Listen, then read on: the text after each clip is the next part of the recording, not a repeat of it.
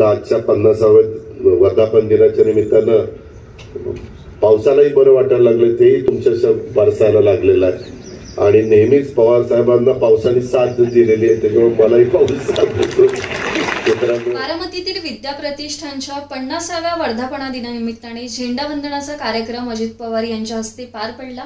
यावेळी अजित पवार यांनी उपस्थितांशी संवाद साधला. दोन हजार एकोणीस साली विधानसभा निवडणुकीच्या प्रचारादरम्यान सातारा येथे भर पावसात राष्ट्रवादीचे सर्वे सर्वा. शरद पवार यांनी घेतलेली सभा सर्वांच्याच लक्षात राहिली आहे साताऱ्यात शरद पवार जेव्हा सभा घेत होते त्याच वेळी पाऊस पडू लागला. मात्र शरद पवार यांनी भाषण न थांबवता भर पावसात कार्यकर्त्यांचं संबोधन सुरू ठेवलं. त्यांचा हा उत्साह पाहून कार्यकर्तेही भारावून गेले होते. यानंतर लागलेल्या निवडणुकीच्या निकालावर शरद पवार यांच्या सभेचा प्रभाव पडल्याचं बोललं जात होतं. आजही अनेक राजकारणी शरद पवार यांच्या त्या सभेचा उल्लेख करतात बारामतीत बोलताना विधानसभेचे विरोधी पक्षनेते अजित पवार. यांनीही या प्रसंगाची आठवण करून दिली आहे. पावसाने नेहमीच शरद पवार आणि मला साथ दिली आहे असं अजित पवार म्हणाले. आता आजच्या पन्नासाव्या वर्धापन दिनाच्या निमित्तानं पावसालाही बरं वाटायला लागलं तेही तुमच्या बरसायला लागलेलं आहे. आणि नेहमीच पवार साहेबांना पावसाने साथ दिलेली आहे त्याच्यामुळे मलाही पाऊस साथ देतो.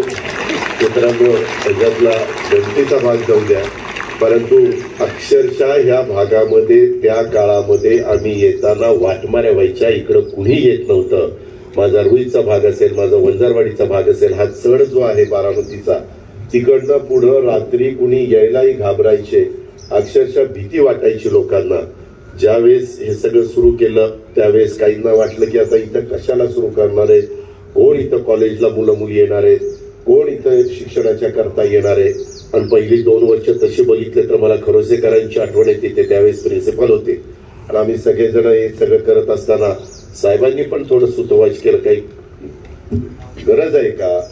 अजून एका कॉलेजची परंतु आज तुम्ही सगळे मिळून साधारण अठरा हजार विद्यार्थी विद्यार्थिनी ह्या कॅम्पसमध्ये शिक्षण घेत आहेत. त्याच्यामध्ये स्वतःचं भवितव्य घडवण्याचा प्रयत्न त्या ठिकाणी करतायत. आणि हे सगळं करत असताना अजून देखील पुढं बऱ्याच गोष्टी करायच्यात. आपण ह्याला जोडूनच आपलं कृषी विकास प्रतिष्ठानमध्ये देखील कृषी विज्ञान केंद्र असेल आपलं ॲग्रिकल्चर कॉलेज असेल त्याही माध्यमातनं अतिशय उत्तम प्रकारचं शिक्षण देण्याचा प्रयत्न हा पवार साहेबांच्या मार्गदर्शनाखाली आमचे बंधू राजेंद्र पवार आणि बाकीची सगळी त्यांची टीम तिकडच्या भागामध्ये करते